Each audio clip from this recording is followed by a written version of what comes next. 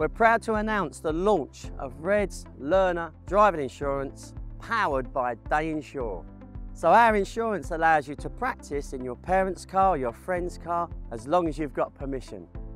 It's your policy, so if you borrow a car, it doesn't affect the car owner's insurance or their no claims bonus. Policies start from one day up to five months. The DVSA say you're going to do about 45 hours with a professional instructor and about 22 hours private practice. Red's Learner Insurance is a great way to gain those extra practice hours. So you must be 17 years old to get a policy.